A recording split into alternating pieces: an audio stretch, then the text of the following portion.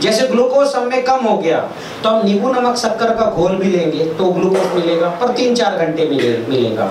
और बॉटल से सीधे ब्लड में डालेंगे तो तुरंत मिलेगा। सिस्टम है जिसके कारण ग्लूकोज हमको रोज मिल रहा है। कैसे मिल रहा है? हम जो भोजन करते हैं, उसमें खट्टा मीठा और नमक तीन चीज़ होता है। जब ये तीनों मिलेगा तो ग्लूकोज बनेगा, तय मतलब जो चटनी और चटनी और जो है रोटी खा रहा है, उसके अंदर वो भी छह रस ले रहा है। ये प्रकृति में कितना रस है? छह। खट्टा मीठा नमक, कटु तिक्त कसाय। खट्टा मीठा नमक क्या बढ़ाता है?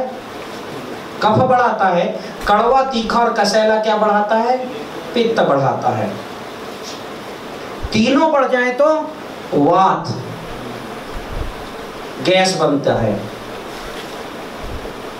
तो ये पूरी जो छह रस है, ये छह रस हम सब्ज़ी, अब देखिए हमारी सब्ज़ी में हल्दी हम डालते हैं, मिर्च हम डालते हैं, नमक हम डालते हैं, क्यों डालते हैं?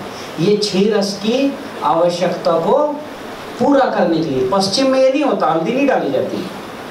क्योंकि उनको छह रस का ज्ञान नहीं था। वो छह रस के फल खाएँगे, तब छह रस मिलेगा। और हम केवल सब्ज़ी खा लेंगे तो छह रस मिल जाएगा। क्योंकि हल्दी उसमें डाला है। हल्दी का कोई काम नहीं है सब्ज़ी में। लेकिन हमारे यहाँ कूट कूट कर भर दिया गया हमारे दिमाग बिना हल्दी के सब्ज़ी नहीं बनती।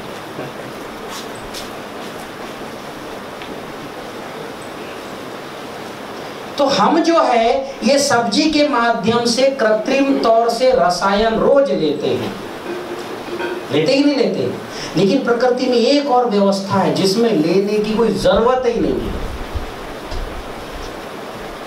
और उसी व्यवस्था से ये बड़े बड़े पेड़ खूब फलते फूलते हैं। उनमें कोई ना फंगस आता, ना वायरस आता, ना कीट आता। क्यों नहीं आता? क्योंकि अगर वायरस जो कैल्शियम नहीं होगा तो रस्युसा कीट उसमें आएँगे।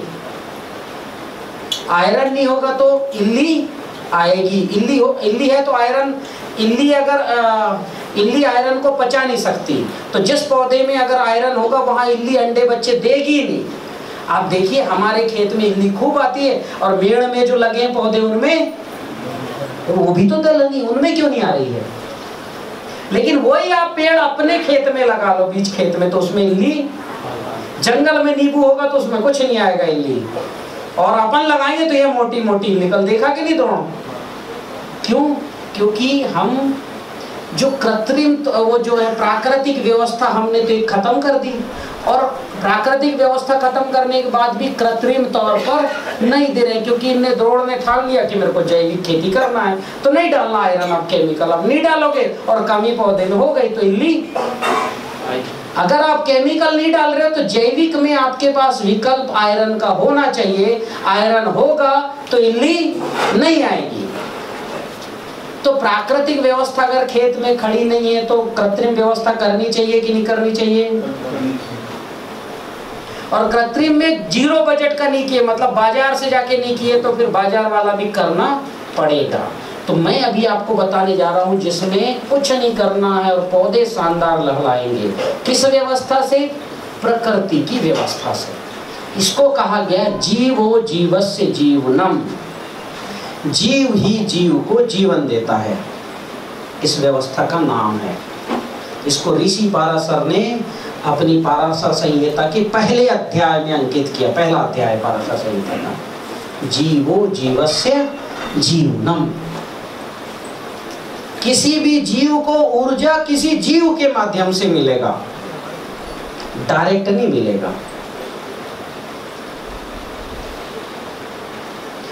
मतलब हमको अगर जो है प्रोटीन चाहिए तो दही का बैक्टीरिया देगा, खुद मर के देगा। हमको प्रोटीन का दही जो मिलेगा, जो मक्खन कहलाता है, दही का प्रोटीन क्या कहलाता है? मक्खन। मक्खन यानी क्या? वो लैक्टोबेसिस मर गया, हमारे लिए मर गया, और पूरा का पूरा किसमें कन्वर्ट हो गया? प्रोटीन में। उस प्रोटीन उस प्रोटीन को लेने से हम में कोई विकार नहीं आएगा, क्योंकि वो प्रोटीन जीवो जीव से जीवनम के सिद्धांत पर है।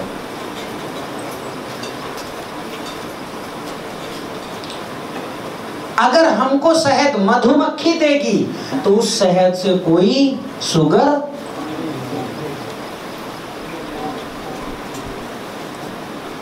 छत्तीसगढ़ में एक परंपरा थी बासी बोरा खाने की। अब मैं थी इसलिए बोल रहा हूँ कि मेरे को लगता है आप बंद कर दिए आप सब लोग। क्या थी वो परंपरा? यही थी जीवो जीव से जीवनम। जीव विकसित करो, खा जाओ सुबह। क्योंकि प्रोटीन चाहिए आपको। प्रोटीन किसमें आ गया? उस चावल में और पानी में। और नमक डालने से क्या हुआ? मर गया हूँ। इस पर शोध हो रहे हैं बासी बोरा में। विदेशों में हो रहा है। और जब विदेश से आएगा तो फिर हम सब पढ़े लिखे फिर खाना शुरू कर देंगे। और वो पहले खा रहे थे तो वो गंवार थे।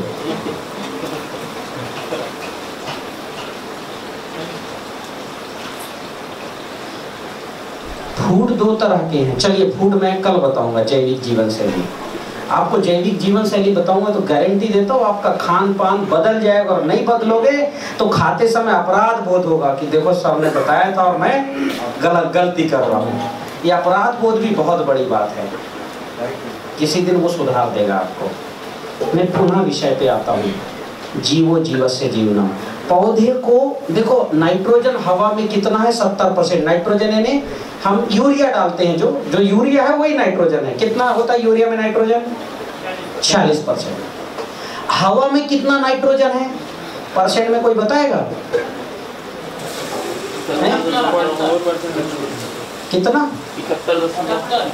अठहत्तर। अब सब छठवीं से दसवीं तक सब पढ़े हैं, लेकिन अब वो काम की नहीं है इसलिए भूल गए। जो काम किए, वो सब याद है। अठहत्तर परसेंट हवा में नाइट्रोजन है और धरती अगर 109 डिग्री टेम्परेचर कम हो जाए धरती का तापमान तो ये नाइट्रोजन पूरा पानी में बदल जाएगा और कितना अभी सात समुद्र है ना, उससे तीन गुना समुद्र बनेगा। 21 समुद्र बन जाएँगे। महासमुद्र की बात कर रहा हूँ मैं। इतना बड़ा समुद्र बन जाए, इतना हवा में क्या है? नाइट्रोजन है। पर हमारा पौधा नाइट्रोजन के बगैर पीला पड़ा है। क्यों पड़ा है? क्योंकि नाइट्रोजन देने की जो व्यवस्था है, जीवो जीव से जीवना, उसको हमने खत्म कर दिया। कौन कौन नाइट्रोजन देते हैं। चार जीव हैं जो उसको नाइट्रोजन देते हैं। एक है अजोटोबैक्टर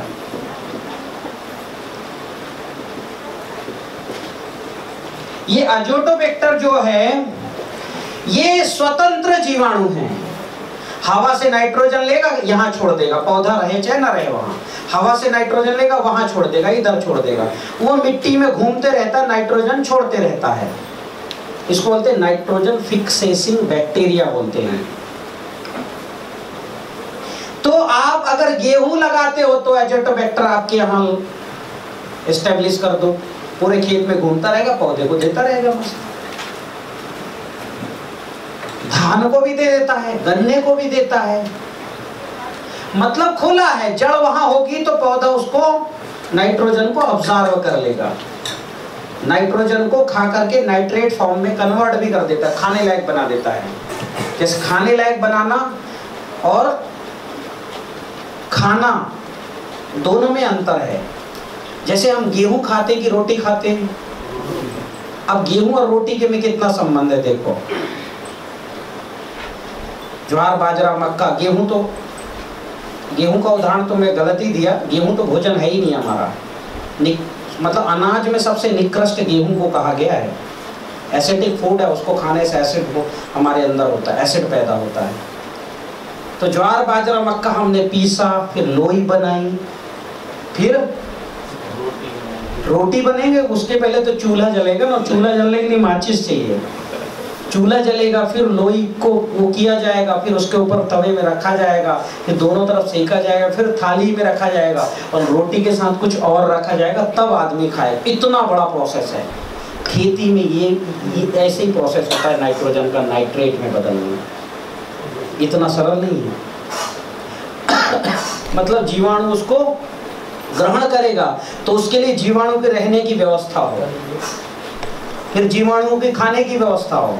फिर जीवाणुओं के ऑक्सीजन लेने की व्यवस्था हो। तब तो रहेगा और कुनबा बढ़ाएगा। फिर जब कुनबा बढ़ाएगा, तब वो खींचेगा हवा से। फिर नाइट्रोजन को फिक्स करेगा। तब पौधे को मिलेगा। ठीक है? तो मैं अभी ज़मीन को ज़िंदा कैसे करना, ये जब बताऊँगा तो वो प्रक्रिया बताऊँगा कि जीवाणु कैसे आपके खेत में होने चाहिए। और जीवाणु कहाँ होते सब गोबर में होते वो भी बताऊँगा। अभी आप जीवाणु समझ लो, अपने पास 20 मिनट हैं अभी बस। तो एक तो एजेटोबैक्टर दूसरा हो गया एजोस्पारिलम। एजोस्पीरिलम। ये ये गेहूँ का अगर है, गेहूँ, ज्वार, बाजरा, है ना? तो ये किसका है? ये मक्का और धान का। गन्ने का भी है। तीसरा है एसिटोबैक्टर।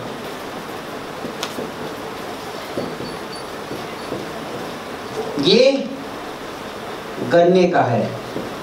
गन्ने को नाइट्रोजन देता है। चौथा है राइजोबियम।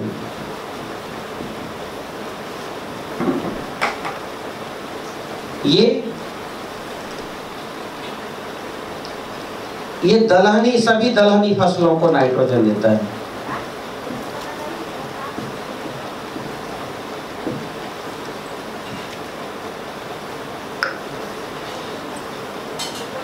यानी जो आपने चने में देखी होगी, गठाने बनते सोयाबीन में।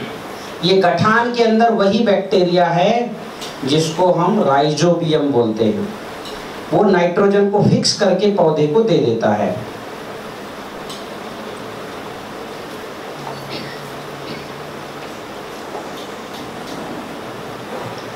अब आप कहोगे कि भाई ये ये चारों जीवाणु बाज़ार से खरीदना है। अभी बाज़ार से खरीद के सब डालते हैं। मैं आपको बहुत कम खर्चे में 20-25 रुपया में बनवा दूँगा। अभी ये देख के घबरा जाता है आदमी कि इतना जीवाणु है, अब इसको खरीदो, अभी यूरिया डीएपी खरीद रहा था अभी ये खरीदो। पर इसकी भी ज़रूरत नहीं। मैं अभी आपको एक सजीव जल बना दूँगा, जिस सजीव मैंने नाम इसलिए दिया क्योंकि उसमें जीवन है, आ गए। ठीक? अब इसके बाद जो है मिट्टी में आप सब अपने खेत की मिट्टी की जाँच किए होंगे। कितने लोगों ने मिट्टी की जाँच कराई? यहाँ खड़े करो जरा। करवाया है रिपोर्ट नहीं आया है। हाँ तीन लोग ने करवाया। आपके खेत में फास्फोरस ज़्यादा होगा गारंटी मेरी। है कि नहीं? अति उच्च। जितना चाहिए उससे भी ज़्यादा मिट्टी में है। मैंने हज़ारों पाँच हज़ार कम से कम जाँच कराया नरसिंहपुर में। निन्यानवे परसेंट केस में मिट्टी में उच्च या अति उच्च है। उसका लक्षण ये है, जिन जितने लोगों की मिट्टी कड़ी है, समझ जाओ फास्फोरस ज़्यादा है। क्योंकि फास्फोरस के आयन ऐसे बाँध देता है मिट्टी को। जैसे फास्फोरस ज़्यादा होने से तना बन जाता है ना तना बन जाता है। वैसी मिट्टी अगर कड़ी हो गई, एक दूसरे से बंध गई तना जैसे तो समझ जाओ फास्फोरस ज़्यादा है। तो आप सबके खेत की मिट्टी कड़ी है ना? फास्फोरस ज़्यादा है। है, फिर भी आपको सिंगल सुपर फास्फेट डालना पड़ रहा है। क्यों? है, लेकिन वो खाने लायक उसको खाने लायक बनाने का काम करता है पीएसबी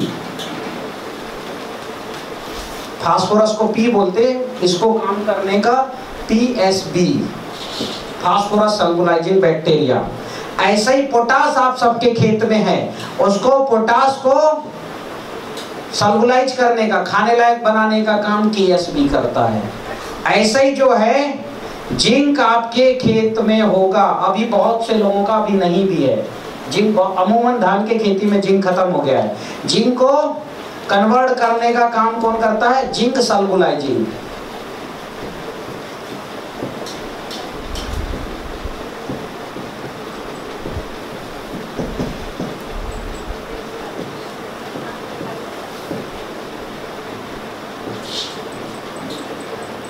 और ऐसा ही सल्फ़र को सल्फोलाइजिंग करने का काम सल्फ़र सल्फोलाइजिंग करता है।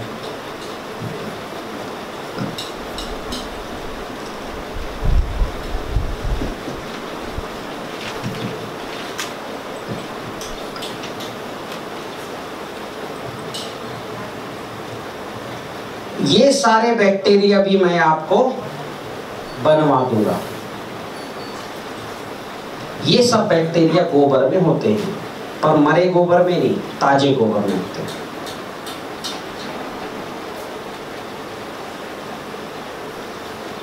गाय का गोबर या तो कंडे बने, या तो सजीव जल बने। बीज का कोई प्रोसेस नहीं होता गोबर का। इसलिए ज़्यादा गाय पालना ही नहीं चाहिए। अगर खेती करना है, दस एकड़ तो एक गाय। गाय ज़्यादा होगा तो गोबर का या तो कंडा बना के और कंडे के मैं कई यूज़ करवाता हूँ कई तरह के उपयोग करवाता हूँ। अब जहाँ जहाँ मेरी बड़ी बड़ी ट्रेनिंग्स हुई हैं वहाँ वहाँ कंडा बिकने लगा और इसलिए अमेजन भी बेचने लगा। ऑनलाइन कंडा बिकना शुरू हो गया। क्योंकि मैं, बहुत सा उपयोग खेती में कंडे से करवाता हूँ। चार महीने से गोबर का घोल और गौमूत्र खेतों में इस्तेमाल करने से फ़सल काफ़ी सुधार अच्छा। बिल्कुल अभी चार ही महीना हुए हैं। दो साल में आप देखिए फ़सल कैसी होती है। और के खेत में खोदाई करके देख रहा हूँ।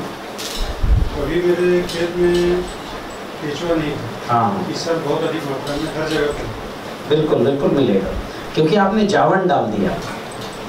हम्म, गौमूत्र का घोल। हाँ गोबर गौमूत्र गुड़ बेसन वाला घोल डाल रहे होंगे। बिल्कुल बेसन तो नहीं मिला रहा हूँ नहीं मिला रहे। हाँ केवल गोबर गौमूत्र ही घोल के डाल रहे हैं। चलिए बहुत बढ़िया। ठीक। अब ये सारे जो जीव हैं, ये तो हो गए उर्वरक के जीवाणु। अब आपको फ़सल को आपके खेत में कोई राक्षस ना पनपे, कोई शत्रु जीव ना पनपे, उसके लिए भी बहुत से जीव हैं, जिनको कहा गया मांसाहारी जीव। अच्छा मैं आपसे पूछता हूँ, खेती के लिए मांसाहारी जीव मित्र हैं कि शत्रु हैं? अच्छा पहले बताओ, शाकाहारी जीव जो फूल, फल, पत्ती, जड़ को खा जाते हैं, वो खेती के मित्र हैं कि शत्रु हैं?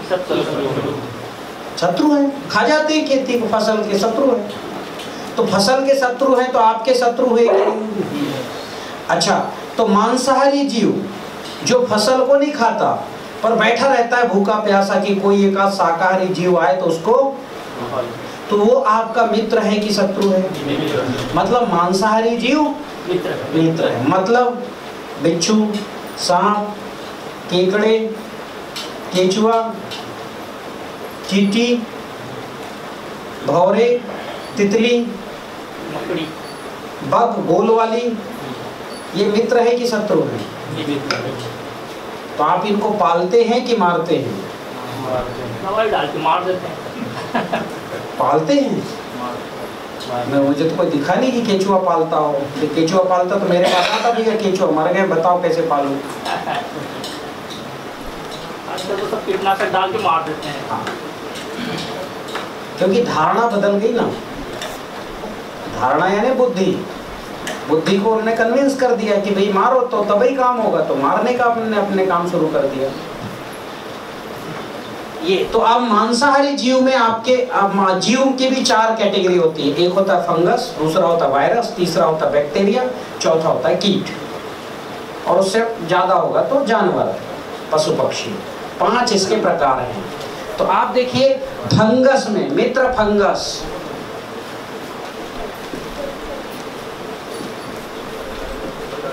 मित्र फंगस क्या है? ट्राइकोडर्मा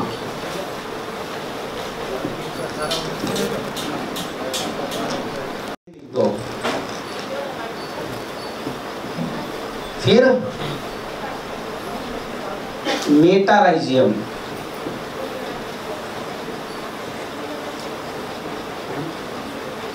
मेटाराइजियम ये खाता है ये दीमक और व्हाइट ग्रब को नष्ट करता है।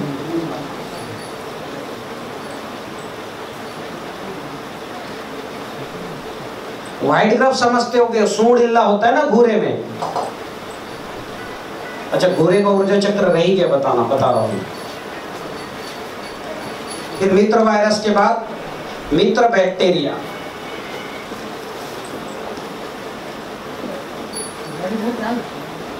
मित्र बैक्टीरिया है सूडोमोनास फ्लोरोसिस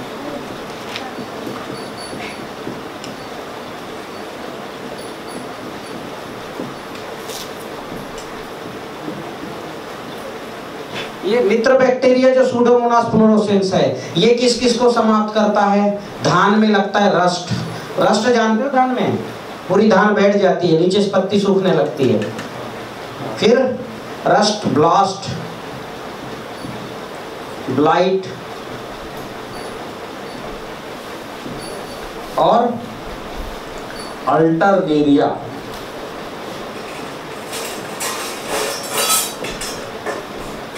ये जितनी बीमारी है धान की, ये सारी बीमारी को कौन समाप्त कर लेता है? चाट लेता है इन, ये बीमार करने वाले इन सब वायरस फंगस को ये चाट लेता है। इसकी लंबी लंबी जीभ होती है, एक नहीं सैकड़ों होती है। ठीक है? गन्ना कोई लगाता हो तो रेड रोड गन्ने में जो लाल सड़न आता है, उसको खत्म करता है। फिर मित्र जीव। मित्र जीव में कौन कौन से? एक एक भौरा है, क्राइसो पर लिया।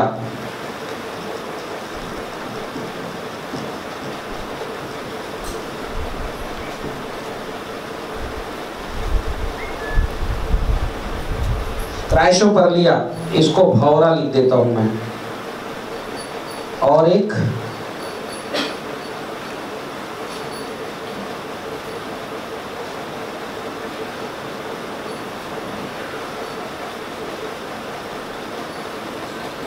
एक बग भी होता है। रेड लेडी बग बोलते हैं उसको रेड लेडी बग एक राइसो पर लिया एक भौरा है और एक जो है एक गोल गोल सा रेड लेडी होता है। ये हमारे खेत में ये हो। ये होंगे तो बीमारी मान लो, हमारे कुछ पौधे कमज़ोर भी होंगे तो ये फटकने नहीं देंगे। अगर इल्ली मान लो आ गई तो ये जो है क्राइसो पर लिया भौरा चुन चुन के खा जाएगा। और रस चूसक कीट आ गए तो ये बग खा जाएगा। इसको रेड लेडी बग लिख लेना, आप चाहो लिखना हो तो। सफ़ेद मक्खी के लिए बग। और सफ़ेद मक्खी अगर है आपके तो एक वायरस है। मक्खी के लिए एक वायरस है।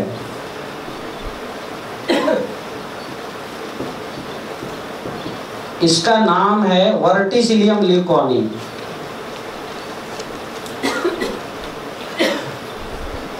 वर्टिसिलियम।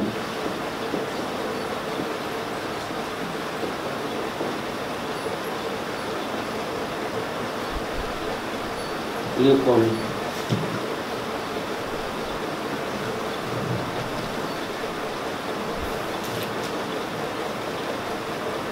वो आपने दिया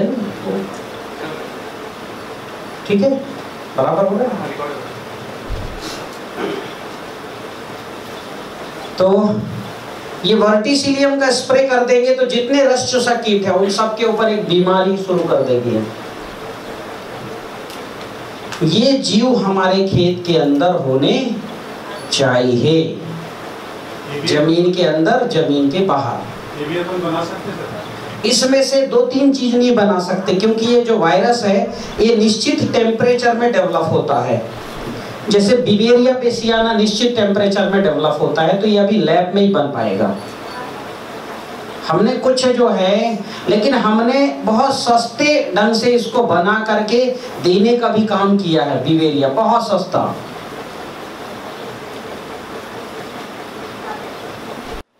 सुरक्षा भी करेंगे। इसी को कहा गया जीवो जीवस्य जीवनम। और इसको पाराशर जी ने आगे कहा, जंतु नाम जीवनम कृषि। क्या कहा? ये व्यवस्था जब आपके खेत में खड़ी हो जाएगी तो इस व्यवस्था को कहा जंतु नाम जीवनम कृषि। जंतु यानी यही सब जीवाणु छोटे बड़े इनका जीवन ही कृषि है। कृषि और कुछ नहीं है। कृषि यानी ऐसा नहीं है कि जो तो नाम कृषि, जो तो तब कृषि होगी। ये नहीं है। कृषि का एक ही परिभाषा है। जंतु नाम जीवनम कृषि। जंतु यानी सूक्ष्म और बड़े। इन जीवाणुओं का जीवन पूर्ण कराना ही कृषि है। मेरी पूरी पद्धति में जब आपकी मक्खन जैसी हो जाएगी मिट्टी तो आपको कुछ नहीं करना है, केवल बुआई करना है। ना कोई जोताई होगी, ना निंदाई होगी, ना गुड़ाई होगी, ना कोई रासायनिक, ना कोई जैविक खाद डाला जाएगा, ना कोई रासायनिक या जैविक दवा डाली जाएगी। कुछ नहीं होगा, केवल वो घर जाके सो। केवल फ़सल काटने जाना और बम्पर फ़सल आएगी इसकी गारंटी।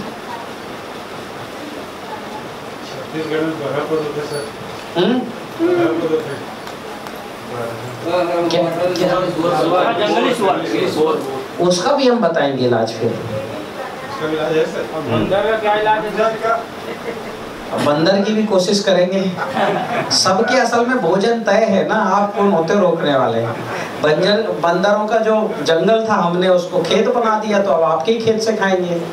वो तो कहीं जा नहीं सकते। सबका भोजन तय है पर प्रयास करेंगे कि बचाएँ।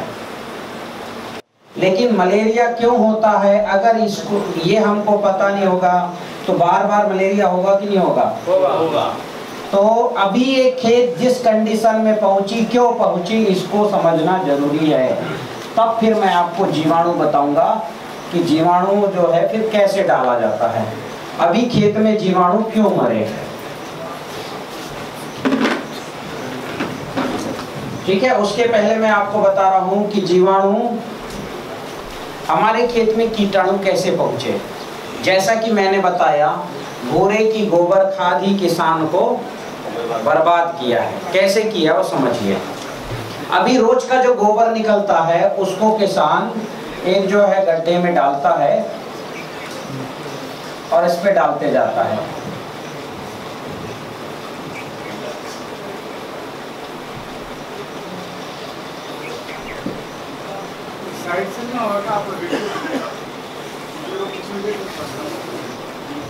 दो मिनट। मैं हट जाऊँ? ये है घोड़ा।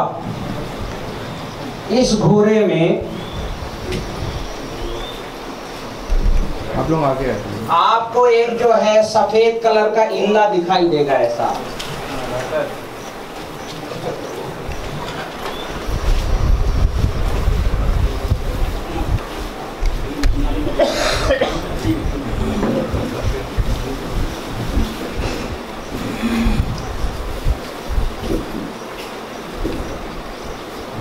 ये क्या है? ये व्हाइट ग्रफ है।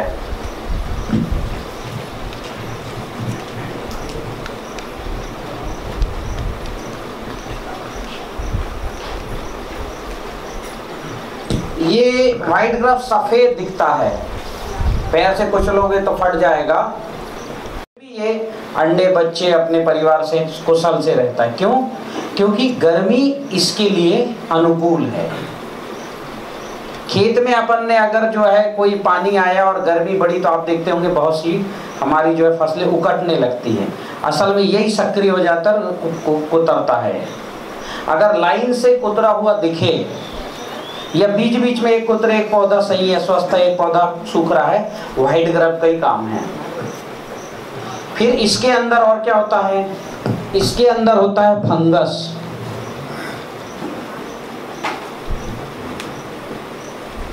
सफ़ेद और हरा कलर का फंगस होता है।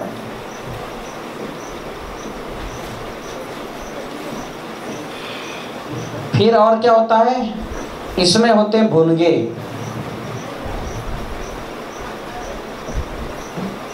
मक्खियाँ।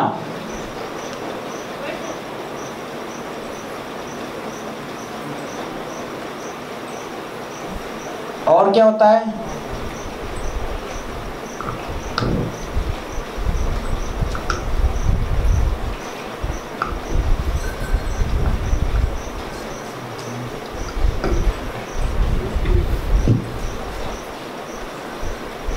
और इसमें होता है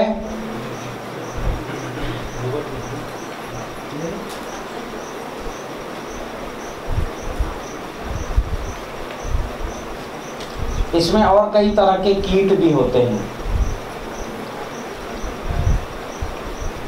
इन सारे कीटों को सबको उठा करके किसान कहाँ डाल देता है? खेत में।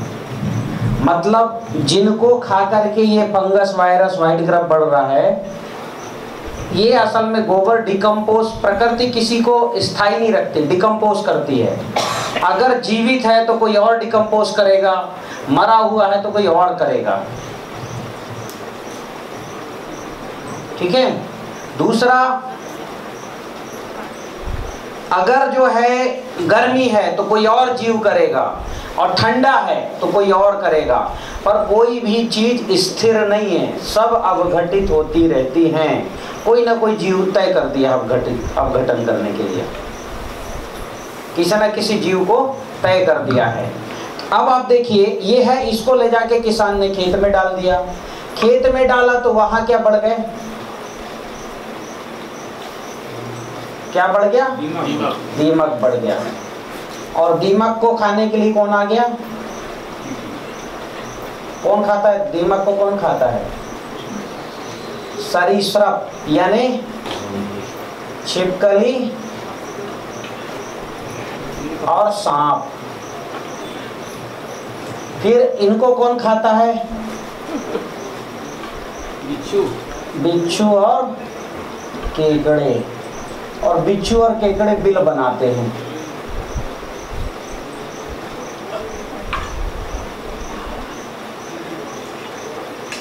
इन बिलों में कौन पल गया? चूहे और सांप पल गए।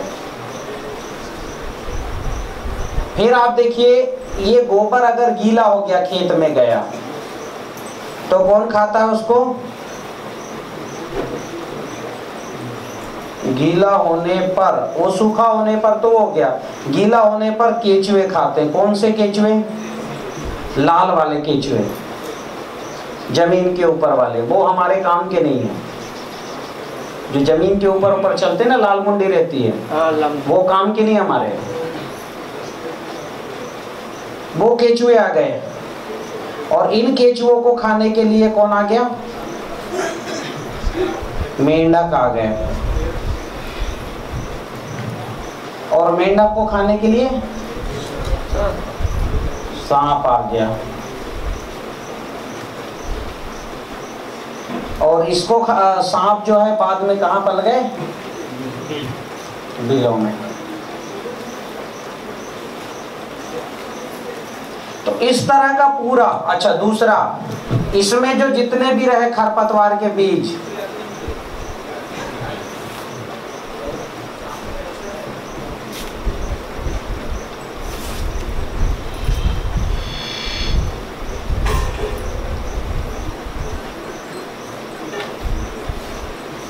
खरपतवार के बीज भी किससे जाते हैं?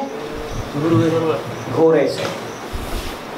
अभी बताओ आपके खेत में फंगस हो जाए वायरस हो जाए जड़ उकड़ जाए बीमारी लग जाए तो किसान क्या घाट फ़ायदे में रहेगा क्या? सबसे बड़ी बीमारी तो, तो सबसे बड़ा घाटा तो बीमारी से है। बीमारी ना है तो किसान तो ऐसे ही तक जाए बिना यूरिया डीएपी के। कुछ ना कुछ तो होगा पर बीमारी हो जाएगी तो कुछ नहीं होगा। तो सारी बीमारी का जड़ घोड़े का गोबर है। जो शुरू हुआ। यूरिया डीएपी ने इस बीमारी को बढ़ाया है। इसलिए आप जो है या तो ताज़ा गोबर का यूज़ करें या कंडा बनाएँ या घर लीपने में उपयोग करें। ये गोबर का क्या उपयोग करना है? गोबर का बहुत बड़ा महत्व है। आप देखिए, हमने मोबाइल के मोबाइल में गोबर का छोटा सा चिप लगाया है। पीछे दिखाऊँ क्या ये ये चिप लगाने से जो है, मोबाइल चाहे हम जेब में रखें चाहे कहीं रखें, इसको फ़र्क नहीं पड़ने वाला हमको।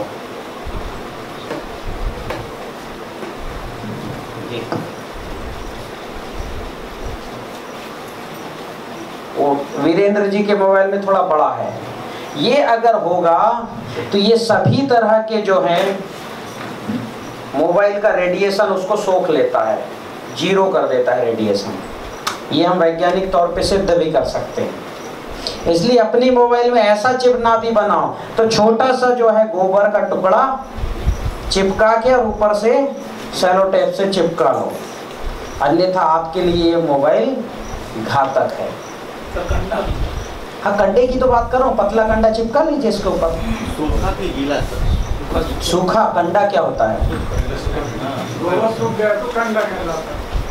आपको बताते ये फिर हाँ। ये बना बनाया मिलता भी है। सब हम ही ने जब से हमारे सब व्याख्यान शुरू हुए तो लोगों ने देखो इन्होंने ऐसा वाला बनवा लिया। कहाँ से क्या बनवा लिए? ये तो कोई भी साइज़ का बन रखा है। मोटाई कितनी है? गोबर का लेयर चिपका दिए two M M two M M के दिया। सर डायरेक्ट गोबर को चिपका हाँ डा- नहीं गोबर नहीं। सुखाइए और चिपका के ऊपर से सेलो टेप लगा दीजिए।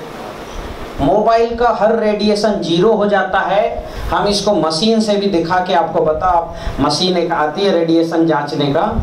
आप मोबाइल के पास ले जाइए तो बताने लगेगा, तीस, चालीस, पचास, दो सौ। फिर गाय का गोबर, गाय का गोबर, गाय के गोबर को हाथ में लगाइए और एक्सरे मशीन में ले जाके एक्सरा कीजिए, कुछ नहीं आएगा, काला होगा। इसका मतलब गाय का गोबर एक्स किरणों को भी शोषित कर लेता सोख लेता है। हमने अभी गाय के गोबर के ना कई गहने बनाए हैं महिलाओं के पहनने के लिए पुरुषों के पहनने के लिए माला गोबर के। हाथ के जिस जो गोबर जिसके टच में रहेगा उसको अल्ट्रा वायलेट किरणें कुछ नहीं करेंगी उसको। क्योंकि अगर हमारे शरीर में अल्ट्रा वायलेट किरण आएगी तो सोख लेगा वो। इसलिए हमने बाला महिलाओं के लिए बनाए कि पहने और मेरे जहाँ जहाँ लेक्चर अब भोपाल में तो अब क्या होता है? I S I P S सारे बड़े बड़े लोग, मैं बोलता हूँ पति पत्नी आएँगे तो प्रवेश मिलता है मेरी ट्रेनिंग में। भोपाल में इतना नियम कड़क है।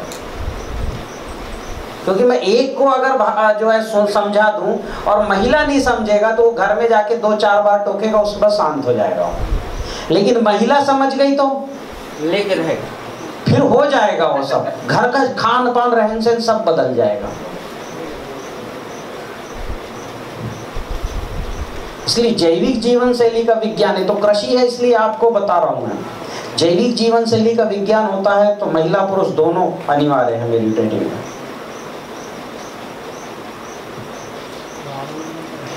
फिर गोबर में और क्या है? गोबर में सभी तरह के जीवों की उत्पत्ति गोबर से होती है। अब देखो, सूखा गोबर है तो ये सब दीमक से लेके चूहे तक पहुँच गए। ये इकोलॉजी बनी कैसे? गोबर से शुरू हुई। इसलिए गोबर को कहा गया कि 33 करोड़ 33 करोड़ देवी देवता, करोड़ नहीं वो कोटि होते 33 प्रकार के देवी देवता सब गोबर के अंदर हैं।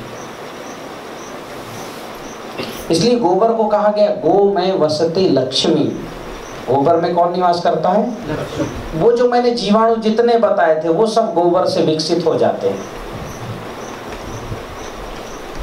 जो लक्ष्मी यानी अन्न पैदा करने वाले सारे जीव किसमें हैं? गोबर। गोबर में है। आप गोबर कहीं ऐसे जो है गिरा होता है तो आप देखिए नीचे से कितने नीचे से कई जीव आ जाते हैं। उनको पता कैसे चला कि गोबर यहाँ आ गया? ज़मीन से छेद करके ऊपर आ गए। इसका मतलब गोबर ऐसे सारे जीवों को खींचने की शक्ति। रखती केचुए केवल गोबर गोबर खाता वो आता। फिर उस केचुए को चीटी खा जाती क्योंकि केचुए का कर्म क्या है? मिट्टी को खाना ऐसे चलना। ऐसे चलना नहीं ऐसे ऊपर ऊपर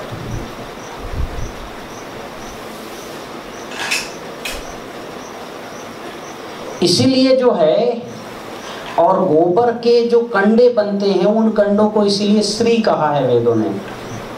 श्री किसको बोलते हैं अपन?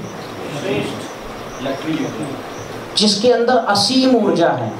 विष्णु को हमने श्री कहा है लक्ष्मी को श्री कहा है अन्न को श्री कहा है धन को श्री कहा है। जिसके अंदर असीम ऊर्जा है। तो ये गोबर का कंडा जब जलता है विधिवत तकनीक से, विधिवत योग से, जिसको हम बोलते अग्निहोत्र।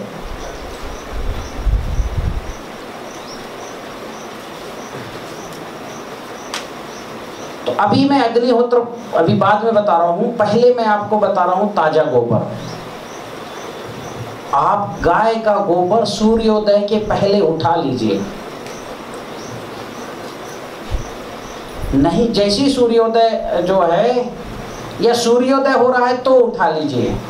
जैसे जैसे वो हवा के संपर्क में आता जाएगा, ठीक है ना, उठा करके ढक के रख दीजिए। कोई कीट उसमें ना आए।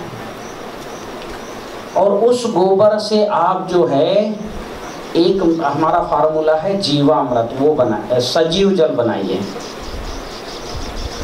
जीवामृत भी बना सकते हैं, पर जीवामृत में दो दिन बाद दुर्गंध आता है। और अपना कंसेप्ट क्या है? सुगंधिम पुष्टिवर्धनम। दो दिन तक जीवामृत का उपयोग कर सकते हैं और जीवामृत में हार्मोन्स की मात्रा ज़्यादा है, इसलिए स्प्रे में उपयोग करना है। क्या है जीवामृत और सजीव जल? पहले लिखिए सजीव जल। ये ताजे गोबर से हमको करोड़ों बैक्टीरिया पैदा करना है, उसकी प्रक्रिया का नाम है सजीव जल।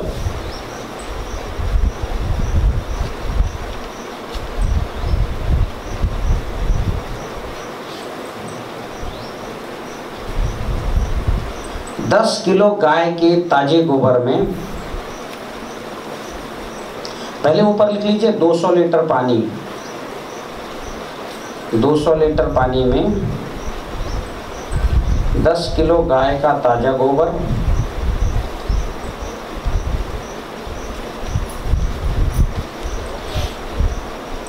दस लीटर गौमूत्र।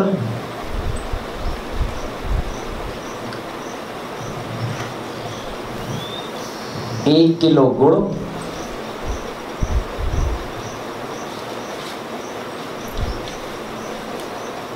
एक किलो दही।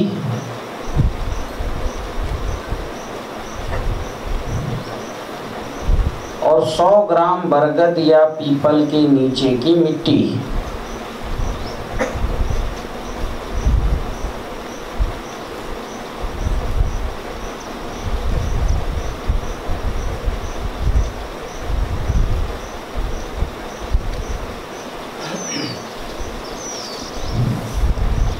ये डाल करके रख दीजिए।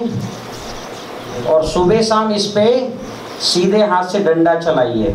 बरगद पीपल के हाँ। बरगद या पीपल के नीचे की। और मिट्टी खोद के नहीं ऐसे झाड़ू जैसा लगा के निकाल लिए फिर उस मिट्टी को डालना है। उसके अंदर असंख्य जीवाणु हैं। खोदना नहीं पैर अपन ने पत्ता हटाए और हाथ से एक मुट्ठी तो चाहिए कोई बहुत ज़्यादा तो चाहिए नहीं। के जीवाणु धूप में मरते नहीं नहीं जीवाणु नहीं मरते वो डार्मेंसी में जाते हैं समाधि अवस्था में। में हाँ। ठीक है ना? धूप कैसे होगा? नीचे छाया में रहेंगे धूप? है में। नहीं नहीं ये जो अपना सजीव जल है इसको छाव में रखना है। हाँ। मिट्टी की बात। नहीं मिट्टी डार्मे वो डार्मेंसी में चले जाते हैं। में हम्म? डंडा डंडा से खोलना है सीधे सीधे ऐसा घड़ी की दिशा में दो तीन मिनट नौ दिन तक रखना है इसको। और दसवें दिन एक एकड़ में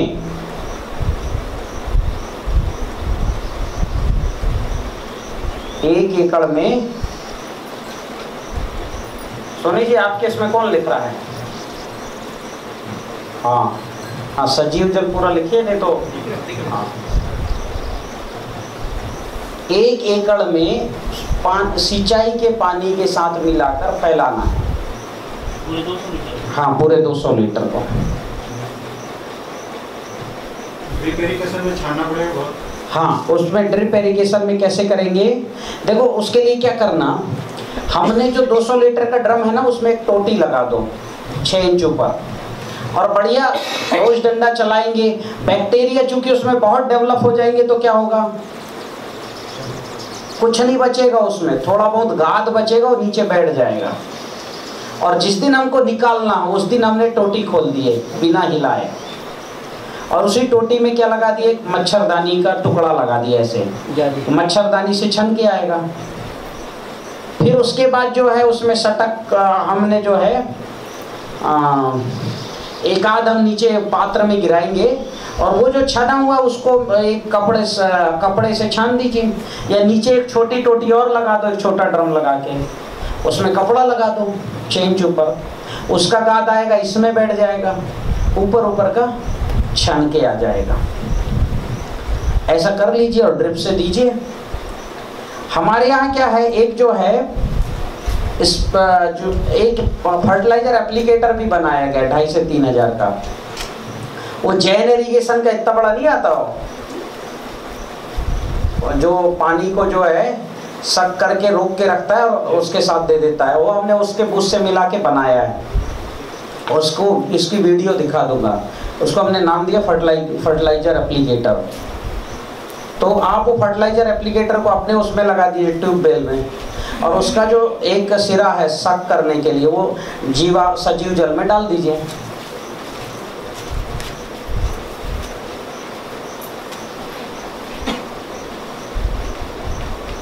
क्लियर हो गया सभी फ़सल में डालना है कितने दिन? हम्म? में डालना है? है, उसके बाद और जैसे डालना नहीं हर सिंचाई में डालना है। कितनी सिंचाई होती है? धान में तो पानी रहता है। हाँ तो हर जो है धान में पंद्रह दिन में डालिए। चार पाँच सिंचाई। सर जो दही जो है गाय का ही रहेगा हाँ। जो भी मैं गोबर गोमूत्र दूध घी शहद की घी दूध की बात कर रहा हूँ सब गाय के हैं। जहाँ भैंस का अगर मही लग, लगेगा तो मैं बता दूँगा कि इसमें भैंस का गई मही मान्य है। ठीक है ना? जो भी गोबर गोमूत्र की बात कर रहा हूँ सब गाय के। पानी है अपने पास पानी रुकता है है। उसको कैसे छिड़काव बस ऐसे ही हाथ से डाल दो फैला दो। हाँ। मेड़ में खड़े होके फेंक दो बाल्टी बाल्टी भर के। ये कोई खाद है नहीं कि एक जगह रहेगा ये तो बैक्टीरिया बेस्ड है फैल जाएगा अपने आप ही। सर ये सब्ज़ी में कब कब चलाना है हैं हम्म? टमाटर टमाटर से जो ड्रिप में सभी में सिंचाई में डालना हाँ, वीरेंद्र जी वो आपके पास पर्चा रखा है मेरा वाला? सबको बांट दो एक एक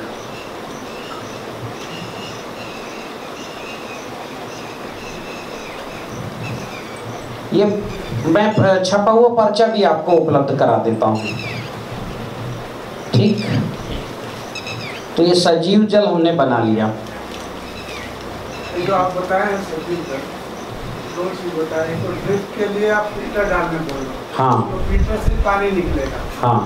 तो पानी तो बहुत कम निकलेगा। नहीं 200 लीटर पानी है ना उसमें क्यों कम निकलेगा हो? पूरा हाँ पूरा पूरा सब घुल जाएगा केवल देखो दूध। दही तो घुल ही जाएगा। केंचुआ रहेगा नहीं उसमें वो क्या करेगा वो भी उस पानी में जाएगा केंचुआ। कैसे केचुआ? केचुआ है? का तो वो तो वहाँ जाएगा तब बनेगा ना नौ जब- दिन तक आप रखें। तो क्या बनेगा? कुछ नहीं केंचुआ से नहीं। लिक्विड बनेगा बस। हाँ। उसमें एक ग्राम में एक एक एम में 20 lakh azotobacter 20 lakh trichoderma 20 lakh pseudomonas और 20 लाख एजेटोबैक्टर एक एक एम में 80 लाख जीवाणु एक एम में हो जाएँगे नौ दिन में। और उसमें मीठी खुशबू आने लगेगी। अधिक दिन रहने से खराब हो जाएगा? नहीं पंद्रह बीस दिन भी रखोगे तो खराब नहीं होगा लेकिन उससे ज़्यादा रखोगे तो धीरे धीरे खराब होना शुरू हो जाएगा। अच्छा इसको कौन से बर्तन में रखना प्लास्टिक की मिट्टी की? प्लास्टिक में या मिट्टी में या सीमेंट के होते में लोहे में नहीं रखना टिन में। दो सौ लीटर का ड्रम रहेगा प्लास्टिक का तो चलेगा। हाँ। लोहे ड्रम में नहीं रखना। नहीं। ढक के रखना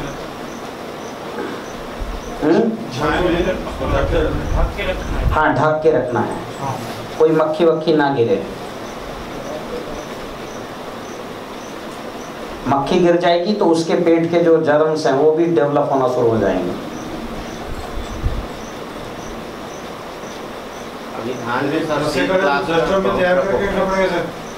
हाँ?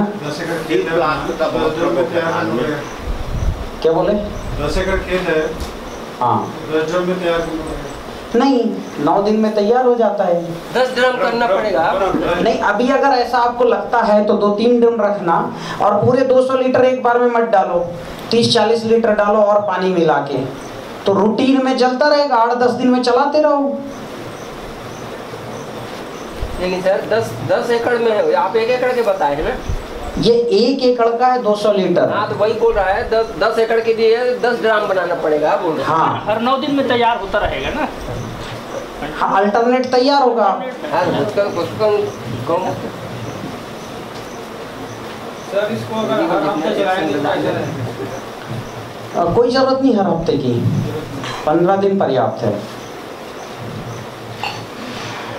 तक प्रोटीन होगा तब तक चलाना चलो। हैं? हाँ जब भी सिंचाई देते हैं चलाना है। है। कि कब तक चलाना है जैसे चार महीने पाँच महीने का फ़सल है अपना। हाँ। हर पंद्रह दिन में चलाएँगे तो छह बार सात बार ऐसे चलाना है। कितने बार? सिंचाई कितने बार देते हो? सिंचाई ज़्यादा से तीन से चार बार। हैं? तीन से चार बार। तीन से चार बार सिंचाई है। तो आप ये समझ जाओ कि चार बार देना है आपको। नहीं है, इसलिए लिखवाया ना, सजीव जल। अब दूसरा लिखिए, अब घटक जीवाणु घोल। अब घटक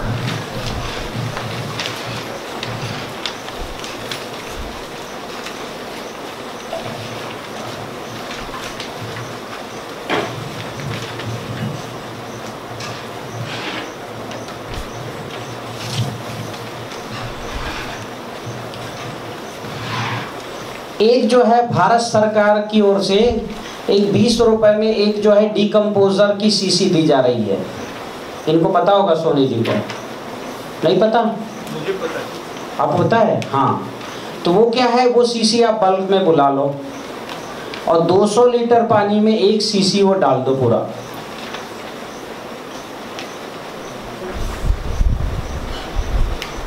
तो इसी का हाँ वो एक सीसी बीस रुपए की।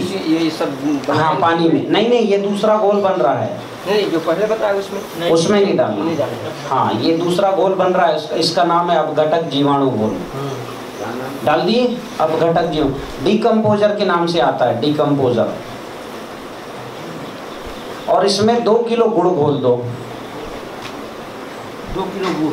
हाँ केवल सीसी और गुड़ घोलना है बस। कुछ नहीं करना बस और कुछ नहीं। अच्छा ये गुड़ का क्वालिटी क्या रहेगा सर? गुड़ मतलब कई क्वालिटी है ना एक कोई भी क्वालिटी का डाल दो केमिकल गुड़ आजकल बहुत आते हैं जितना हो विदाउट केमिकल हो तो अच्छा है। और दो में पानी? दो सौ लीटर पानी। हाँ 200 लीटर पानी में डाल दो। बस दो सौ लीटर पानी में गुड़ और ये। हाँ बस बस बस। कितना दिन तक? तीन दिन चार दिन अधिक से खूब से खूब सात दिन। तीन से सात दिन के बीच में उसमें उसका कलर मटमैला जैसा हो जाएगा। मटमैला समझ रहे हो ना? हाँ समझ। हाँ। मटमैला जैसा कलर हो जाएगा तब इसको एक एकड़ में इसको भी ज़मीन पे डालना है सिंचाई के पानी के साथ मिलाकर। बस। बस और कुछ नहीं है। नहीं। डिकम्पोजर पानी और गुड़ 200 लीटर पानी लिखा ना मैंने। ये दोनों गुड़ को उसको घोलना है। मार्केट में अवेलेबल लेकिन मार्केट वाला दो सौ रुपये में पड़ेगा आपको। वीरेंद्र जी हैं अपने बीच में इनका नंबर अभी हम लिखा देंगे। ये आपके कोऑर्डिनेटर रहेंगे जो चीज़ आपको ज़रूरत है मुहैया कराएँगे। पर आपको अग्रिम इनसे डिमांड और अग्रिम पैसा आपको देना पड़ेगा। ऑनलाइन जमा करना पड़ेगा। हम्म। है, अब इसको क्या है? इसको जो है, एक एकड़ ज़मीन पे डाल देना है। ये डालने के 25-30 दिन ही में आप छोटे छोटे छोटे छोटे ऐसे ब्लैक स्पॉट दिखने लगेंगे। और जैसे ये जो है लगभग दो साल में 10 बार डालना है इसको, ज़मीन सुधारने के लिए। अभी ज़मीन सुधारने का अलग से मैं कोर्स लूँगा। तो आपकी पूरी मिट्टी एकदम ब्लैक हो जाएगी। अगर दोमट मिट्टी होगी तो उसमें भी जान आ जाएगी। साल में दो बार साल में दस बार दो साल में दस बार।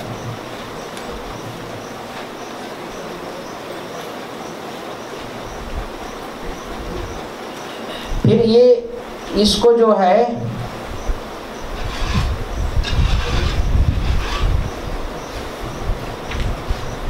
ठीक ठीक हो गया? ये फ़सल डालना है।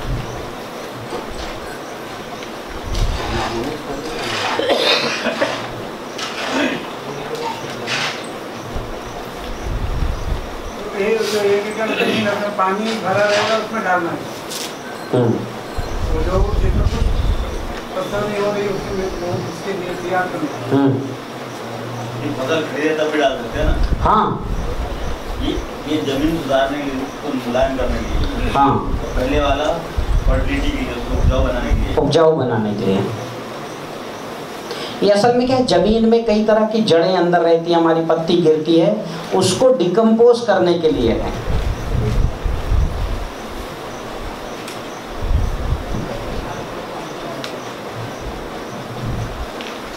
ये डिकम्पोजर भी गोबर से बना?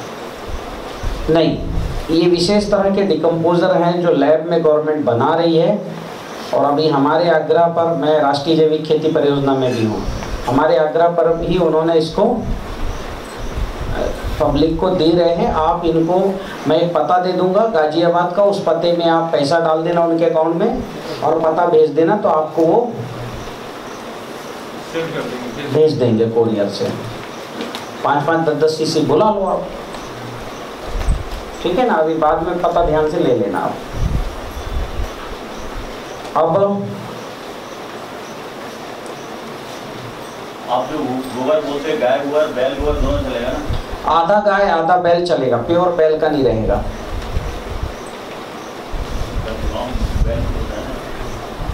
हाँ अगर बैल है तो आधा बैल का गोबर, आधा गाय का चलेगा, पर गाय का चाहिए।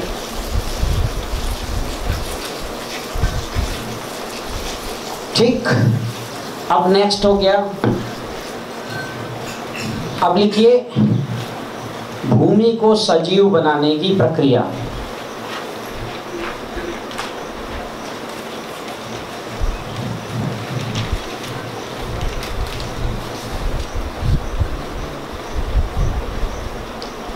भूमि को सजीव बनाना है, ना जीवित करना जीवित करना है, ना अभी भूमि लगभग मर गई है।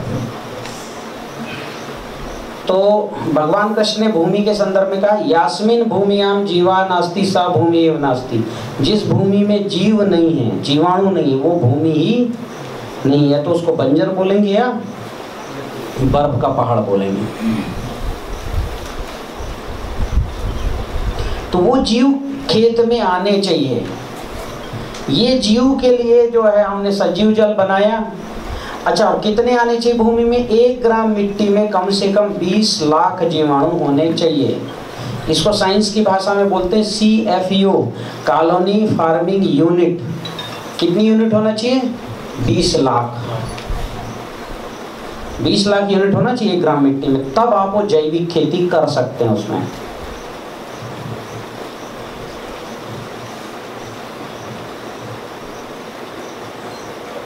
अब जीवाणु बढ़ाना है तो वहाँ कार्बनिक मैटर, उनके खाने के लिए जगह चाहिए। हवा अंदर जानी चाहिए। तो कार्बनिक मैटर बढ़ाने के उपाय लिख लो। कार्बनिक मैटर का जो सूखा पत्ता होता है ना जो जो खाद में तब्दील हो जाता है, वही कार्बनिक मैटर है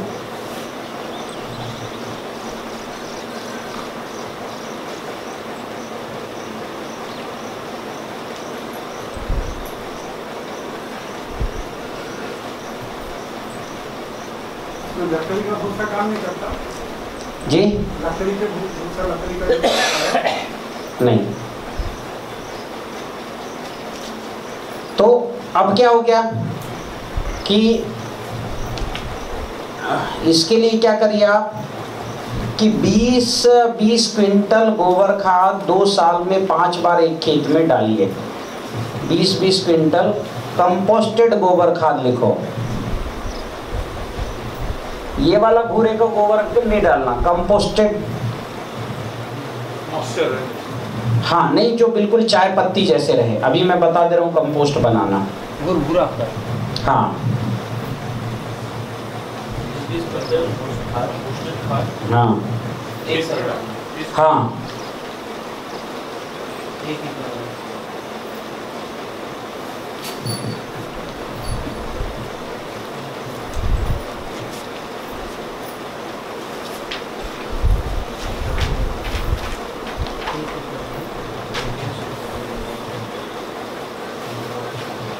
अब ये जो है, इसको डिकम्पोज कैसे करते हैं वो मैं आपको बता देता हूँ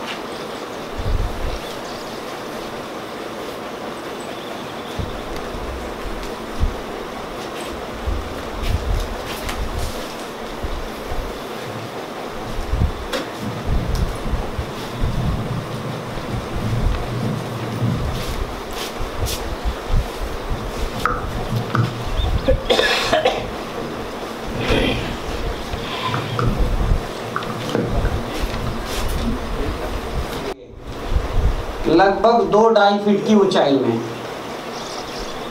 कितनी फीट ऊंचाई है? ढाई फीट मोटा।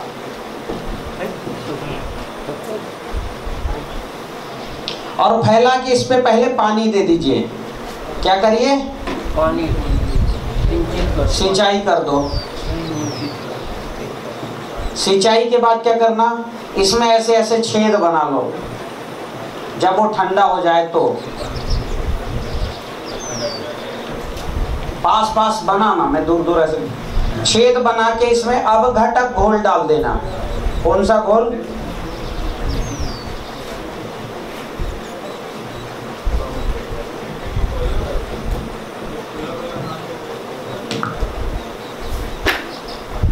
कौन सा घोल डालना है इसमें? अपघटक घोल बता दिया ना मैंने। फिर ये अपघटक घोल डालने के बाद इसको ढक देना पत्तों से, किसी भी ऐसी चीज़ों से। या अगर ढकते ना बने तो छाव में करना फिर। ये करने के बाद क्या करना कि उसके बाद जो है ये 30-35 दिन में डिकम्पोज हो जाएगा।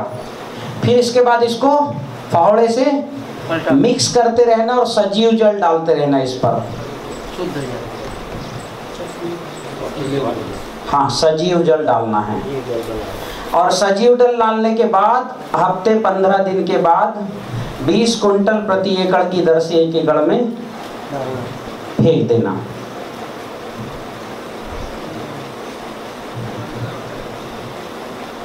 बना लोगे खाद? बिल्कुल चाय पत्ती जैसी बन जाएगी ये खाद फिर। ये ढाई फीट गोबर के लिए है। हाँ ढाई फीट गोबर की ऊंचाई इतनी तक हो रहे बस। ये कितने दूर मतलब लंबाई जाएगी लंबाई चौड़ाई सब अपने हिसाब से करो ऊंचाई बस ज़्यादा नहीं लेना दो से ढाई फुट। कितने दिन रखना है? लगभग पैतालीस दिन। छाँव में रखो।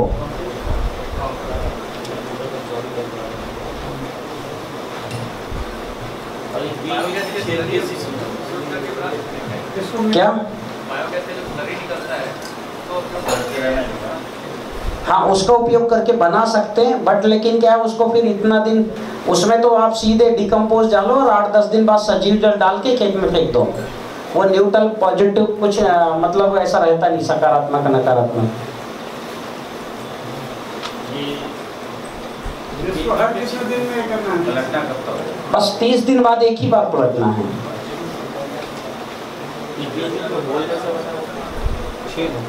सर इसको लिखवा देते हैं। एक बार लिखा देते ना जैसा आप एक हेडिंग डलवा के चार्ट बनाना चलो लिख लो। ढाई फीट की ऊंचाई से गोबर को फैला दो। गोबर ताज़ा नहीं नहीं ताज़ा नहीं। एक महीने डेढ़ महीने पुराना कम से कम। अच्छा वो। ट्रैक्टर की ट्रॉली में बीस कुंटल होता है एक एक ट्रॉली। हाँ बीस तो नहीं हाँ पंद्रह बीस क्विंटल हो जाता है। एक ट्रॉली बता दिए तो तौलने वाला सिस्टम तो दो ट्राली करो आप। दो ट्रॉली में। दो ट्राली। एक ड्रम घोल को डाल दिया अपन। हम्म, हम्म, हम्म, घटक और सजीव जल को। हाँ। दो सौ लीटर दो सौ लीटर हाँ। दो ट्रॉली गोबर फिर इस इसमें जो है आप लिख लो 200 लीटर अपघटक जीवाणु घोल डाल दो।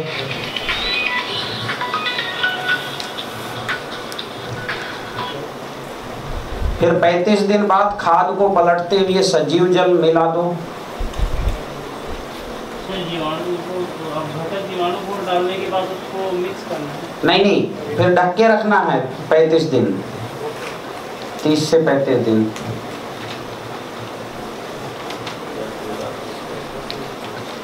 ढक दिए? सचिन डाल डाल के मिलाई हाँ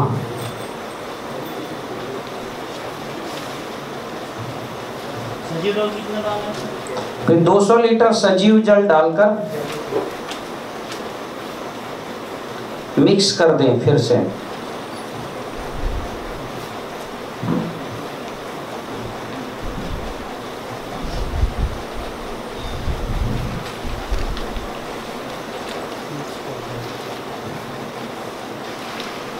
मिक्स कर दिए। फिर पंद्रह दिन बाद एक एकड़ खेत में बुरकाव कर दें बुआई या जुताई के पहले।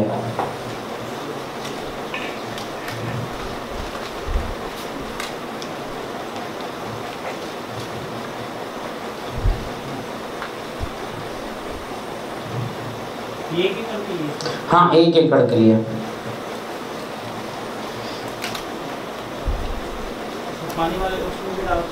हाँ। हैं। खड़ी फ़सल में भी डब बुरकाव कर सकते हैं। ऐसे ही बना के कर सकते हैं। हाँ इसी तरह की बना के कर लो। जैसे 200 लीटर बोल रहे हैं तो इसके लिए कुछ पैमाना है कि ढाई फीट तो ऊँचा हो गया? हाँ। लंबाई चौड़ाई का कुछ अब दो ट्राली होगा तो लगभग वही लगभग सात आठ फीट लंबा और चार फीट चौड़ा। आठ नहीं दस फीट लंबा और छः फीट चौड़ा।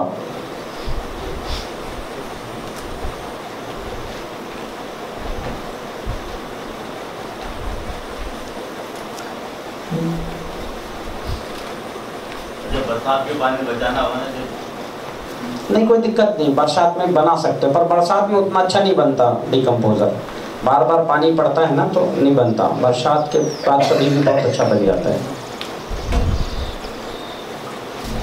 तो ये दोनों घोल बना लिए? बन गया खाद? कोई क्वेश्चन अभी? में हाँ। अब लिख लो, ये, अब ये आपको दो साल में कम से कम ये आपको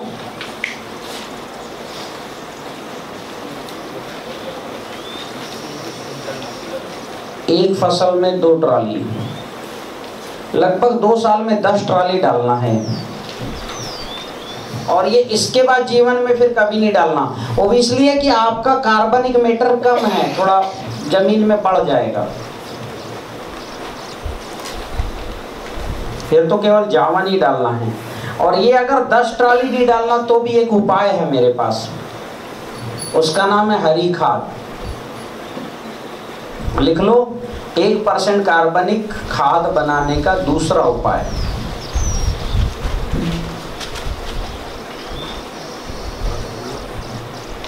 एक परसेंट कार्बनिक खाद ज़मीन में बनाने का दूसरा उपाय।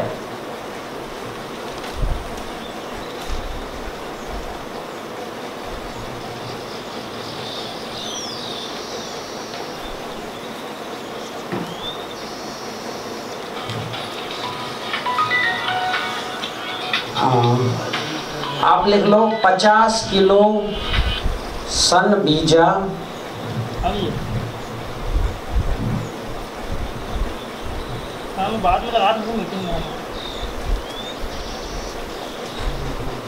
या।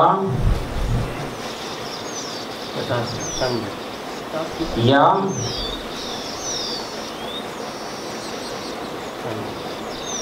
या।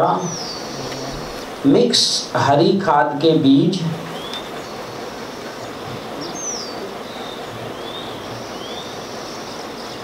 मिक्स हरी खाद यानी क्या होगा? जैसे ज्वार है दो किलो, मक्का मक्का पाँच किलो, बाजरा दो किलो, है ना? उड़द, मूंग, लौकी गिलकी जिसके भी बीज हो आपके यहाँ, सब एक एकड़ में फेंक देना और उगा लेना।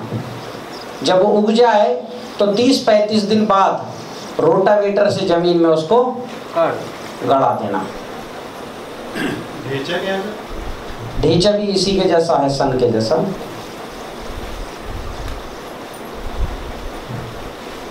नहीं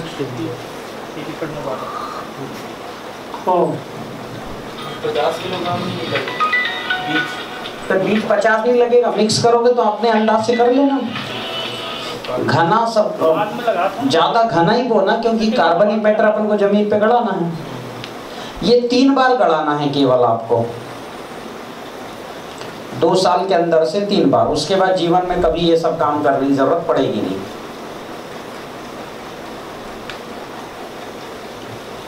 जो धान खेत में हो पाएगा, गेहूँ वाले में हो पाएगा। तो सड़ाना भी उसको बचावा है। करेंगे। तो चलान मिस हो जाएगा हो सही बोल रहे हैं, धान के समय में जून में बहुत अच्छा बन जाता है लेकिन बाकी समय में भी कर सकते हो आप फिर सड़ाने के लिए आपको सिंचाई करनी पड़ेगी एक दो बार। है। नहीं रोटोवेटर से बनो करेंगे तो पूरा फट जाएगा धूल हो जाएगा। सड़ेगा तो शुद्ध फ़ायदा होगा ना धूल तो हो जाएगा ना आपका धूल हो जाएगा तो आप पानी तो डाल देंगे ना एक्सपर्ट को बताने दो ना क्या है कि हमारे यहाँ किसान तो क्या करते हैं मैं मक्का लगवाता हूँ इस सीज़न में। और मक्का को क्या करते हैं मक्का हरी मक्का तोड़े बाज़ार में बेच दिए क्योंकि हमारा मक्का नहीं है हमारा हरी खाद है और रोटावेटर से उसको ज़मीन में दबा देते हैं। उसके बाद ये अवघटक जीवाणु घोल कंटिन्यू दो तीन बार डाल लो डिकम्पोज हो जाएगा। कोई भी सीज़न में।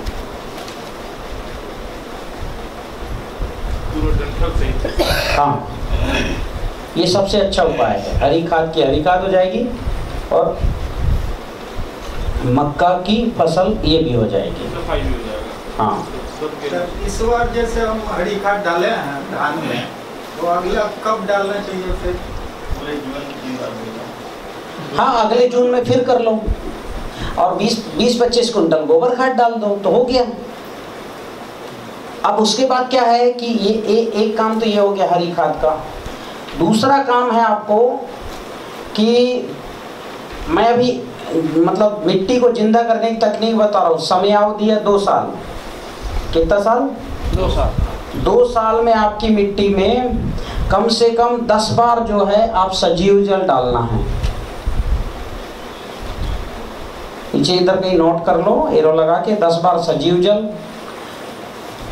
दस बार जीवाणु अवघटक घोल, अवघटक जीवाणु घोल। ही, प्रति एकड़ बता रहा हूँ सब ये। ठीक है? पाँच बार पंचगव्य घोल।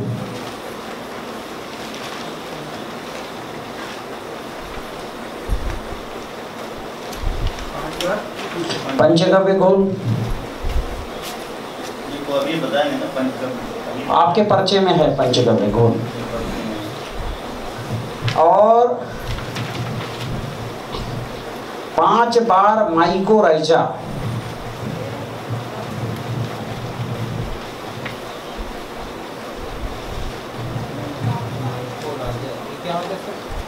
माइकोराइजा की फ़िल्म दिखा रहा हूँ अभी मैं। माइकोराइजा ज़मीन से 15 फीट नीचे जाके पानी लेके आता है।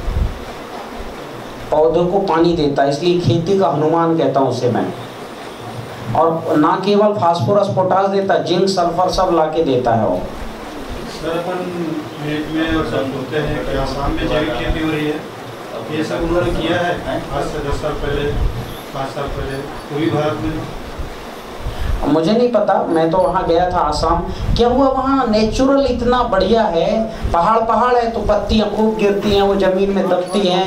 आटो में वहाँ के क्लाइमेट ही है जैविक खेती लायक। ज़रूरत ही नहीं वहाँ पर। पानी गिरते रहता है वहाँ कभी बिगाड़े नहीं बनाने नहीं पड़े जहाँ हम हाँ। हैं। हाँ तो वो पानी डालने वहाँ कभी बिगाड़े ही नहीं है वहाँ तो इस प्रयास में है ये है। हाँ। पर ही हाँ दो साल में हैं। और इसमें और लिखो आप कम से कम पाँच बार सॉइल हेल्थ कंडीशनर पाँच बार ये जो फास्फोरस के कण है ना एक दूसरे से जुड़ के मिट्टी कड़ी हो गई। उस संरचना को तोड़ता है सॉइल हेल्थ कंडीशनर है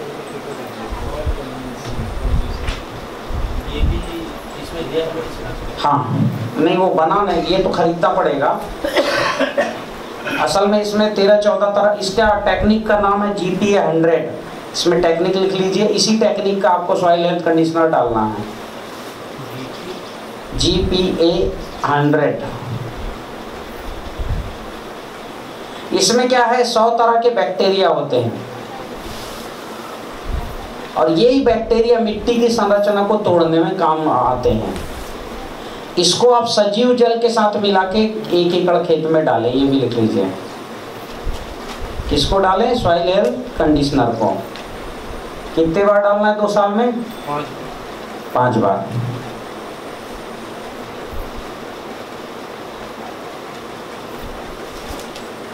इस हिसाब से सजीव जल तो ज़्यादा हो। जाएगा दस बार ऑलरेडी जा चुके नहीं नहीं। उसे मिलाने उसी में मिलाना है। सजीव जल उसमें इंक्लूड रहेगा। अभी फ़सल लोगे तो डाल ही रहे हो। हाँ। तो आप अपने अपने एक खेत का फ़सल कार्ड बन, खेत का बनाना एक। जैसे टीकाकरण होता है ना बच्चों का। ढाई साल तक का कार्ड बन जाता है वैसे कार्ड बनाना। देखते नहीं तो हम प्रिंट करके भी दे देंगे। और ये आप इतनी प्रक्रिया आपको दो साल करना पड़ेगा धैर्य के साथ। लेकिन जैसी ये प्रक्रिया शुरू करेंगे आपकी मिट्टी मुलायम होनी शुरू हो जाएगी बीमारी घटना शुरू हो जाएगा फ़सल में लहक और चमक आनी शुरू हो जाएगी। जिनका अपना अपनी ज़मीन एग्जैक्ट है उसके लिए ठीक है। जिसका बीच में कहीं का पानी कहीं आ रहा है जा रहा है तो है? उनको भी सब सिखाओ हमारी ट्रेनिंग में ले आओ। कैसे भी पकड़ के। नहीं तो आपका भला नहीं होना है फिर। क्योंकि आप जैविक कर रहे हो ऊपर से फिर केमिकल वाला पानी आ गया जय राम जी की। सब करेंगे तब होगा बीच में एक जने कर रहे हैं बाकी लोग कुछ नहीं कर रहे हैं कुछ नहीं होगा आ आप तो शुरू करो अपन शुरू नहीं करेंगे तो पड़ोसी क्यों करेगा? तो पड़ोसी की इतनी अगर पड़ोसी अगर इतना जागरूक होता तो हमारी ट्रेनिंग में आता। पहले सबसे पहले गाय खरीद लो गाय की तो सेवा करना पड़ेगा तब तक ही काम होगा। तो गाय कोई बिना गाय गाय के ये हमने बता दिया भैया कि आपको खेती को सुधारना है। पर खेती बिगड़ी क्यों? ये नहीं समझोगे तो सुधरी रहेगी क्या? फिर बिगड़ जाएगी। तो जैसे एक परसेंट कार्बनिक मैटर आपने कर दिया, उसके बाद आपको पहला काम करना खेत को जलाना नहीं है। जो भी खेत का पैरा, भूसा, चारा वापस खेत को देना है। किस रूप में? मल्चिंग करके सड़ा के नहीं।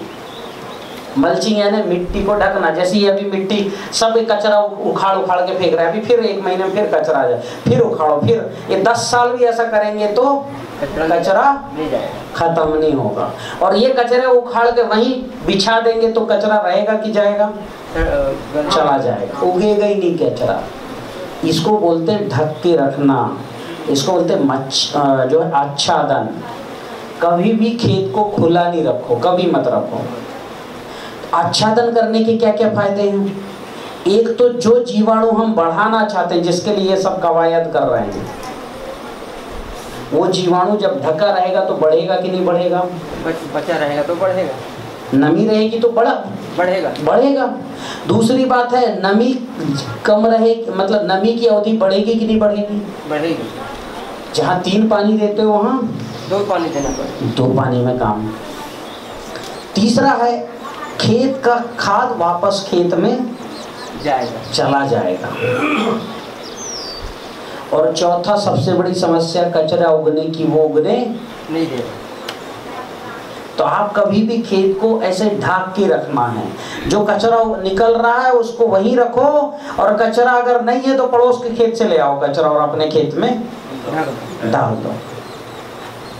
ढक के रखोगे तो पौधा भी ज़बरदस्त बढ़ेगा। आप देख लो करके। अच्छा इसमें एक चीज़ है मैं पूछना चाह जैसे धान तो है कि ठीक है धान का तो आप ढक देंगे। गेहूँ के केस में वो उनके मतलब उसका प्रक्रिया बहुत ज़्यादा दिन लगता है उसको तो उस केस में क्या देखिए गेहूँ में क्या है? गेहूँ में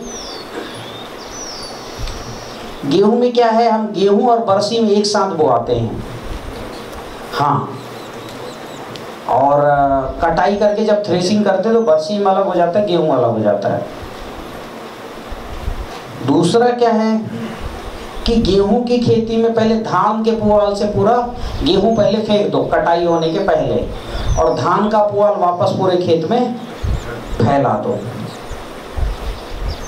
उससे गेहूँ जो है आ, वो मल्चिंग हो जाती है गेहूँ बढ़िया उग जाता है।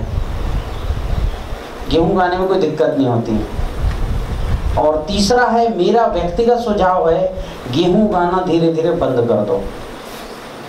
क्योंकि गेहूँ खाना और गेहूँ उगाना दोनों बड़े अपराध हैं। तो क्योंकि देखो धान भी चतरा जड़ होती है गेहूँ भी वही जड़ होती है। धान में गेहूँ अच्छा नहीं उगता कभी नहीं होता। होता है क्या? नहीं मालवा है आपका औरंगाबाद इलाका है वहाँ तो होना है धान होना है। वहाँ तो 25 कुंटल निकला था 25 निकला क्या देखिए क्या है मैं आपको बता रहा हूँ गेहूँ उगाने के क्या क्या नुकसान है? सबसे ज़्यादा सिंचाई की ज़रूरत किसको होती है? इसलिए बाँध बनाए गए नदियों का जीवन खत्म कर दिया गया। बार बार जुताई की ज़रूरत किसको होती है? गेहूँ को। फिर गेहूँ एसिडिक फ़ूड है, हमको खाने में भी नुकसान होता है एसिड बनता है। गेहूँ के जगह ज्वार, बाजरा, मक्का खाइए और यही लगाने का प्रचलन भी बढ़ाइए। गेहूँ लगाना है तो कनक लगाइए। एक हमारे पास वैरायटी जो सोने जैसी चमकती है, उसका ओरिजिनल उसको कनक कहा गया। वही असली गेहूँ है, बाकी तो ये जैसे जर्सी गाय और देसी गाय, वैसे ही है। और उसको भी क्या है? हमको कभी भी ऐसे इंटरक्रॉप में लगाना। दलहनी गैर दलहनी गलहनी गैर दलहनी। एक साल रोक रोक के। चना के साथ गेहूँ नहीं साथ में लगाना है। हाँ मिक्सचर कर। हाँ। केवल गेहूँ गेहूँ बोएँगे तो कचरा फिर उगेगा। हाँ जैसे राहर और कोदो इनमें और अभी क्या है जब मिट्टी आपकी भुरभुरी हो जाएगी ना तो आप धान का गेहूँ बोने के बाद धान का पुअल फैला दो। गीली मिट्टी में गेहूँ फेंको। और धान का पुआल फैला दो ऑटोमेटिक धान उग जाता है। गेहूँ? हाँ। गेहूँ गेहूँ उग जाएगा। अभी संभव नहीं है। क्या तो पलटना नहीं है। काटना है। किसको? कचड़ा। कचड़ा को। और वहीं बिछा देना। उखाड़ो भी मत। उखाड़ के वहाँ रखोगे तो फिर उग जाएगा वो। मिट्टी लगी रहेगी तो। काट के वही बिछा दो कुछ मत करो। तो सर आच्छादन करने से क्या ये खरपतवार कम होगा क्या? उगेगा ही नहीं कम होगा का सवाल नहीं उगना ही नहीं है। जैसे ड्रम तो रख देते हैं तो नीचे में कुछ उगता ही नहीं। जैसे मल्चिंग कर रहा है विद्युत बिछा देते हैं तो नहीं जगता। हाँ। वैसे वो मल्चिंग करने से जीवाणु बढ़ेंगे खाद मिलेगा अपने आप कचरा नहीं उगेगा। उपजाऊ बनेगा। उपजाऊ बनेगा ये सब फ़ायदे हैं। पानी कम लगेगा? पानी कम लगेगा। सर तो ठीक। चना लेना है मेरे को चने का फ़सल लगाना तो अभी मैं फ़सल वाइज पूरा आपको बता देता हूँ कैसे करना। तो उसमें चने का मेरे को फ़सल लेना है। किसमें धान कटा उसके बाद धान की बात क्या धान के बाद कई गेहूँ होते हैं, कई चना होते हैं। क्या है, अभी आजकल ऐसे सीड्रिल आ गए हैं जो मिट्टी में केवल चीरा लगा के चना और गेहूँ बोआ देते हैं। मेरे यहाँ सैकड़ों एकड़ में शुरू हो गया नरसिंहपुर में। चीरा जानते हो ना कि वो जो है धान के वो लगे रहते हैं, चीरा लग के गेहूँ बोआ देते हैं, चना बोआ देते हैं, ऊपर से वो वो वो जो है वो कचरा बीच बीच में जो रोटा उससे चलाते हैं, बड़े हार्वेस्टर से। गेहूँ तो बीच में वो मल्चिंग भी हो जाता है गेहूँ का पुआल इधर नहीं है बता हाँ। और यहाँ की ज़मीन में जैसे जीरी कर में पाँच छः कुंटल से ज़्यादा नहीं निकला गेहूँ। हमारे यहाँ नरसिंहपुर में कम से कम बीस कुंटल गेहूँ निकल के कर नहीं जहाँ धान लगाएँगे वहाँ गेहूँ अच्छा होगा ही नहीं। क्योंकि दोनों की जड़ें कहाँ होती हैं? वही रहती है। जहाँ धान की जड़ है वहीं गेहूँ की जड़ है। तो ये प्रकृति में है ना मूसला जड़ और उथला जड़ ऐसा होना चाहिए। इसको बोलते हैं फ़सल चक्र। जैसे धान के बाद चना वना लगाओ तो गेहूँ हाँ। चना वाले जड़ तो हाँ। अंदर जाता है। हाँ। गेहूँ तो फैलता है उसका जड़। ठीक है। ना पंजाब में तो बहुत होता है। हाँ पंजाब में अपने होशंगाबाद में नरसिंहपुर में तो बनता है। ठीक अब जो है जमी भूमि को जो है ये एक काम तो जलाना नहीं दूसरा काम है कोई फंगीसाइड नहीं डालना। किसमें नहीं डालना फंगीसाइड? खेत में। यानी क्या क्या नहीं डालना? कार्बन डाजिम मैंकोजेब बाबिस्टीन ये नहीं डालना। क्योंकि आपने वहाँ पर मित्र जीव डाला है फंगस का ट्राइकोडर्मा भी डल गया। और माइकोराइजा उसके बाद फिर फंगीसाइड डालेंगे तो फिर ज़मीन डैमेज हो जाएगा फंगस क्योंकि वो तो मित्र और शत्रु दोनों फंगस को खत्म करता है। तो इसकी जगह क्या करोगे? मान लो फंगस आ गया तो लिक्विड सल्फ़र की डेंचिंग या स्प्रे करना। हाँ सल्फ़र लिक्विड फॉर्म में आता है। इसकी, या तो स्प्रे करना डेंचिंग करना, और इसी से अगर ज़रूरत हो तो बीजोपचार करना।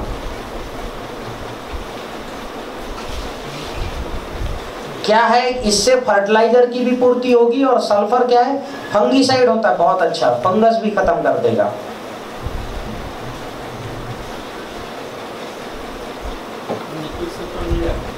हाँ लिक्विड सल्फ़र मिल जाएगा। ठीक है? उपज का टेस्ट भी अच्छा आएगा। और आपकी फंगस जो आपके यहाँ भी धान में बता रहे थे लिक्विड सल्फ़र का उपयोग कीजिए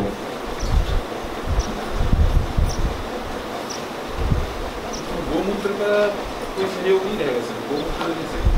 नहीं, मैं आपको फंगस की बात कर रहा हूँ। जब फंगस लगता है ना, जब फंगस बहुत मात्रा में बढ़ जाएगा, मान लो तो आप किसान क्या है, किसान मजबूर हो जाता है, फिर केमिकल डाल ही देगा इसलिए ऑप्शन बता रहा हूँ मैं, इधर आप फंगस फंगीसाइड आप यूज़ करेंगे, उसके जगह ये।